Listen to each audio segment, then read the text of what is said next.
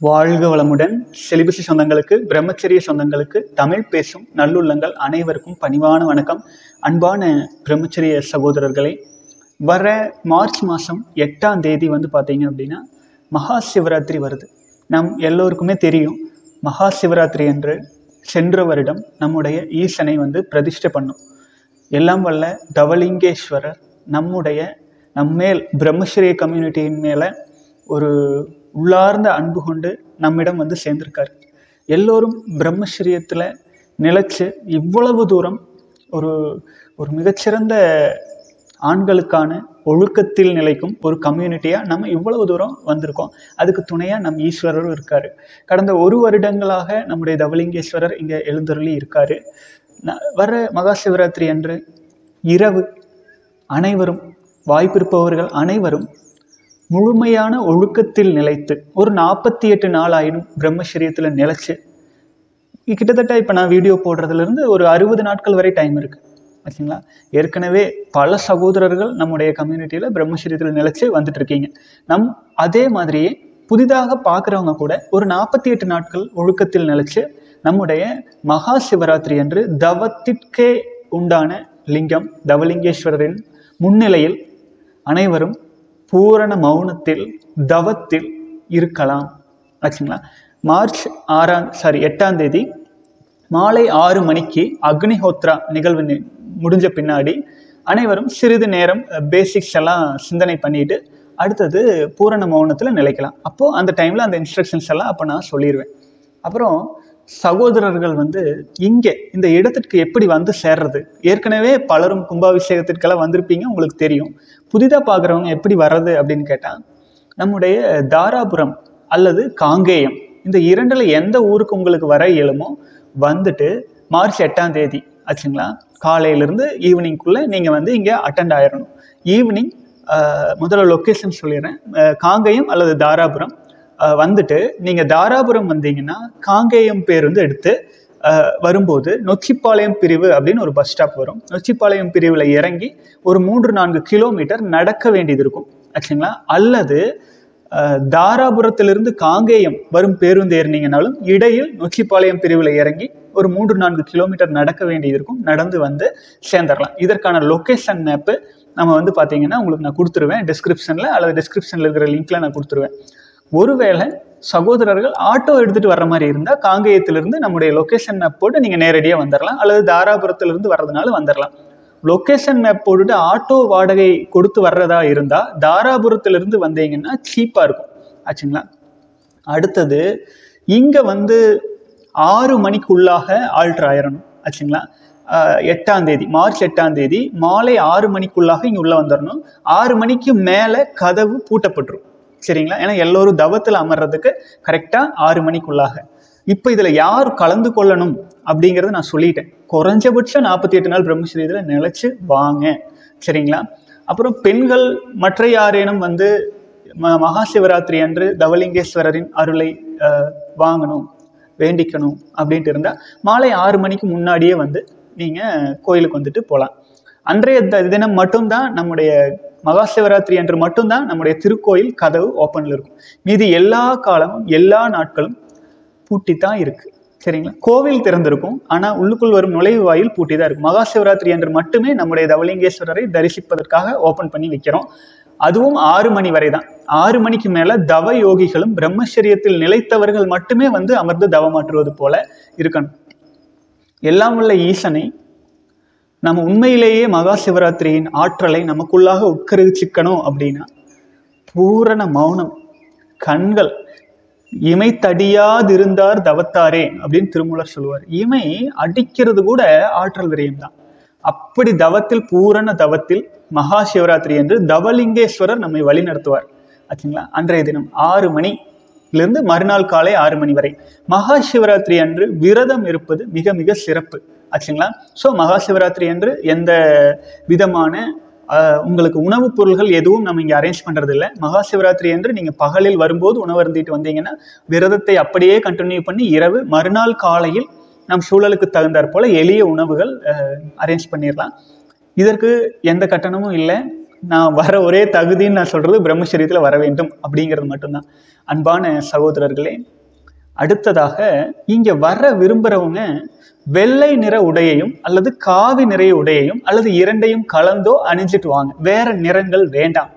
என்ன காரணம் நான் சொல்கிறேன் அப்படின்னா நீங்கள் நொச்சிப்பாளையம் பிரிவு அங்கே இறங்கி நீங்கள் நடந்து வரும்போது சப்போஸ் நம்முடைய கம்யூனிட்டியில் வாகனத்தில் வர்றவங்க வருவாங்க. அவங்க உங்களை ஏற்றிக்கொள்வாங்க. உங்களுக்கு நிறுத்தி கேட்பாங்க. நீங்கள் டபலிங்கேஸ்வரர் கோயிலுக்கு போகிறீங்களான்னு கேட்டு உங்களை ஏற்றிக்குவாங்க ஸோ ஒருத்தருக்கு ஒருத்தர் சப்போர்ட்டாக இருக்கும். அப்போது இது இந்த பிரம்மச்சரிய இந்த திருவிழாவிற்கு தவத்திற்கு நீங்கள் வர்றவங்களுக்கு ஒரு பொதுவான டெலிகிராம் குரூப் வந்து ஒரு வாரம் பத்து நாள் முன்னாடி நம்ம ஓப்பன் பண்ணிடுவோம் அதில் லொக்கேஷன் டவுட்ஸ் எது இருந்தாலும் அதில் சகோதரர்களுக்குள்ளாக சந்தேகங்கள் தீர்த்து கொள்ளலாம். நான் கீழே ஒரு ஃபார்ம் ஆட் பண்ணியிருப்பேன். அதில் வர விருப்பம் இருப்பவர்கள் உங்களுடைய பெயர் தொலைபேசி எண் எல்லாத்தையும் நீங்கள் கொடுத்துட்டீங்கன்னா உங்களுக்கு தேவையான உணவுகள் எல்லாம் அரேஞ்ச் பண்ணுறதுக்கு உதவியாக இருக்கும். சரிங்களா? ஃபார்ம் ஃபில்அப் பண்ணிட்டு வாங்க. அப்போ தான் நம்ம ஆறு மணிக்கு மேலே இவ்வளோ பேர் இருப்பாங்க. அதற்கு தகுந்த ஏற்பாடுகள் செய்யணும் அப்படின்னு நம்ம அரேஞ்ச் பண்ணிடலாம். சரிங்களா? அன்பான சகோதரர்களே வருடத்திற்கு ஒரே ஒரு முறை நாம் மிக முக்கியமான நாளான தவலிங்கேஸ்வரர் இங்கே எழுந்தருளிய நாளில் மீட் பண்ணுவோம். வாய்ப்பிருப்பவர்கள் அனைவரும் வாருங்கள். எல்லாம் வல்ல ஈசனின் அருளை அனைவரும் பெற்று செல்லலாம். அப்புறம் இந்த நம்முடைய தவலிங்கேஸ்வரர் ஆலயம் முழுக்க முழுக்க பிரம்மச்சரியத்தில் நிலைத்த சகோதரர்களின் கடும் உழைப்பினாலும் பொருளாதார சப்போர்ட்னாலும் தான் உருவாயிருக்கு. எல்லாருக்குமே தெரியும். அப்போது இந்த கோவிலின் நோக்கமே பிரம்மச்சரியம் தான். அப்போது இந்த பிரம்மச்சரியத்தில் நிலைக்க வேண்டும் என்று விரும்பும் அனைவருமே இங்கு வந்து மகா சிவராத்திரி என்று பூரண தவம் இருப்பது சிறப்பு. சரிங்களா? அதை விடுத்து ஆர்கெஸ்ட்ரா திரைப்படம் பார்க்கறது பிரயோஜனமே இல்லை. உங்களுக்கே தெரியும். கொஞ்சமேனும் ஞானம் இருக்கிறவங்களுக்கு தெரியும். ஆற்றல் விரயம் செய்யும் போது இறைவன் அருள் எங்க வரும்? ஒன்றும் வராது. ஆச்சுங்களா? ஆகவே இந்த நாளை பயன்படுத்தி கொள்ளுங்கள். இந்த மகா சிவராத்திரி அன்று அது எப்படி வந்துச்சு அப்படிங்கிறக்கு ஒரு சிறிய கதை சொல்லுவாங்க. அதாவது இந்திரன் இந்திரன் இந்திரன் வந்து மனதின் காரகன். ஆச்சுங்களா? அப்போ அது சந்திரனிடம் அந்த வலிமை ரொம்ப குறைவு. மனக்காரகனான இந்திரன் அதாவது மனதின் மனதின் பலவீனங்கள் அதிகமாக சந்திரனிடம் இருக்கும். கொஞ்சம் சந்திரன் கொஞ்சம் அலைபாயும் மனதுடைய ஒரு ஒரு கிரகம்னு சொல்லுவாங்க. அவர் வந்து தக்ஷ அதிபதி வந்து அவருக்கு தன்னுடைய பெண்களை திருமணம் செஞ்சு கொடுத்துருப்பாரு. அதில் ஒரு குறிப்பிட்ட பெண் மீது மட்டுமே சந்திரன் வந்து அபரிமிதமாக அன்பையும் ஆற்றலையும் கொடுத்துட்டு இருப்பார். மீதி அனைத்தையும் புறக்கணிச்சிரு. மீதி அனைவரையும் புறக்கணிச்சிரு. பெற்றோர்களை கூட புறக்கணிச்சு அந்த ஒரு பெண் மீது அவ்வளோ ஆற்றல் விரயம் பண்ணிட்டு பலவீனராக அப்படியே இருப்பார். இதை பார்த்து கோபம் அடையிற தக்ஷன் வந்து சந்திரனுக்கு ஒரு சாபம் கொடுத்துருவார். அப்போ சந்திரனுக்கு அப்படி என்ன சாபம் கொடுக்குறாருன்னா நீ குறிப்பிட்ட ஒரு பெண் மேல மட்டுமே நீ பாசம் வச்சிருக்க. நீ உன்னையும் கவனிக்கல உன்னை சுற்றி இருக்கிறவங்களையும் கவனிக்கல உன்னுடைய சுய நலத்தினால ஆற்றல் விரயத்துல மூழ்கி இருக்க அதனால நீ விரைவில் தேய்ந்து அழிய கடவாயின்னு சாபம் கொடுத்துருவாரு. அப்போ வந்து சந்திரன் வந்து அப்படியே கொஞ்சம் கொஞ்சமாக கொஞ்சம் கொஞ்சமாக மறைஞ்சிட்டே வருவார். அப்போ வந்து எல்லோரும் சொல்லுவாங்க மகா மிருத்யுஞ்சய மந்திரம் சொல்லி ஈசனை வழிபடுங்கள் ஈசன் தான் வந்து உனக்கு வாழ்வு கொடுக்க முடியும். அப்படின்னு சொன்னதுனால அது வந்து அதற்காக வந்து சந்திரன் அவன் சுற்றி இருக்கும் உறவுகள் எல்லாரும் சேர்ந்து இரவு முழுக்க பல நாட்கள் வந்து இந்த மகாமிருத்துஞ்சய இதையும் சொல்லி இறைவனை வேண்டிட்டு இருப்பாங்க. அப்போ ஈசனின் அருள் அந்த எந்த அன்னைக்கு வந்து கிடைக்குது? அந்த அன்னைக்கு தான் வந்து பார்த்தீங்கன்னா மகா சிவராத்திரி இறைவன் இரவு முழுக்க வந்து சந்திரனின் அந்த சாபத்திலிருந்து விடுவிச்சு விடுவிச்சார் மீன்ஸ் வந்து தக்ஷர் கொடுத்த சாபத்தினால் நீ அழிவேன் அதே சமயத்தில் ஈசன் கொடுத்த ஆசீர்வாதத்தினால் நீ வளருவேன். ஆச்சுங்களா? அதுதான் வந்து சொல்லுவாங்க. சந்திரன் பதினஞ்சு நாள் தேய்து பதினஞ்சு நாள் வளருது. இது மனிதனுக்கும் பொருந்தும். மாதம் பூரா நம்ம ஒரே எனர்ஜியோடு இருக்கிறது இல்லை ஒரு பார்த்தீங்கன்னா ஒரு பதினஞ்சு நாள் ஒரு தேஞ்சு பலவீனமாயிருவோம். ஒரு வீக்னஸ்ஸாக இருக்கும் அப்புறம் கொஞ்சம் கொஞ்சமாக எனர்ஜி வரும். இது அப்படியே மாறி மாறி மாறி மரணம் வரை வந்துட்டே இருக்கும். அப்போது அதற்கு நம் எனர்ஜியை ஆற்றலை அதிகப்படுத்துது இப்போ எப்படி அமாவாசை கரெக்டாக பார்த்தீங்கன்னா சிவராத்திரி வந்து ஒவ்வொரு மாதமும் வந்து அமாவாசைக்கு ஒரு நாள் பௌர்ணமிக்கு அமாவாசை பௌர்ணமி சமயங்கள் நீங்கள் கவனிச்சு பார்த்தீங்கன்னா தெரியும். இப்படி கரெக்டாக வந்துட்டே இருக்கும். அந்த பிரதோஷத்தை ஒட்டியே வந்துட்டே இருக்கும். அப்போ நம்ம வந்து நம்முடைய பழக்க வழக்கங்கள் கலாச்சாரங்கள் எல்லாமே இயற்கையோடு ஒன்றியது. ஆச்சுங்களா? அதில் இந்த மகா சிவராத்திரி நாள் அப்படிங்கிறது ரொம்ப ரொம்ப சிறப்பு. அந்த ஒட்டுமொத்த வருடத்திற்குமான ஆற்றலை கொடுக்க வல்லது. நம்ம பிரம்மச்சரியத்தில் நிலைப்பதற்கு மிகுந்த ஊக்கம் அளிப்பதற்கு ஒரு மிகச்சிறந்த வாய்ப்பாக இதை பயன்படுத்திக்கணும். சரிங்களா? வேற எந்த கோயில்களுக்கு சென்றாலுமே ஆற்றல் விரயம் அப்படிங்கிறது இல்லாமல் இருந்தால் செல்லுங்கள். எந்த தடையும் இல்லை. ஆனால் மகா சிவராத்திரி அன்று பூரண மௌனத்தில் தவத்தில் ஒத்த எண்ணம் உடைய அனைத்து சகோதரர்களும் ஓரிடத்தில் குழுமி தவமாற்றுவதற்கு ஒரு அரிய வாய்ப்பு இருக்கு. பயன்படுத்திக்கோங்க. வாழ்க வளமுடன். அடுத்ததாக இன்னொரு விஷயம் நான் சொல்லான் இருக்கேன். நம்முடைய இலங்கையில் யாழ்ப்பாண நூலகம் எரிக்கப்பட்டது பல வருடங்களுக்கு முன்பு. அந்த சமயங்களில் பலருக்கும் வந்து அந்த எரிக்கப்பட்ட புத்தகங்களில் பல காப்பீஸ் வந்து உலகம் முழுவதும் உள்ள தமிழ் அன்பர்கள் சிலருக்கு அனுப்பப்பட்டது.